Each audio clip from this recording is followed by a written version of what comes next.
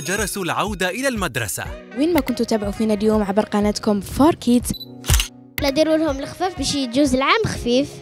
هو أنا خطيني. هو هم ياكلوا علينا خطيني شبيه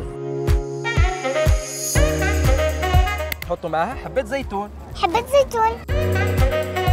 اللمجة ما ننساوهاش والتين والزيتون هذه الآية اللي تبين الفوائد تاع ثمرة التين خاصة إذا جمعناها مع زيت الزيتون.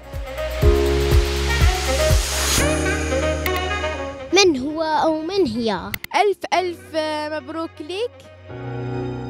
إبداعاتهم لا حدود لها.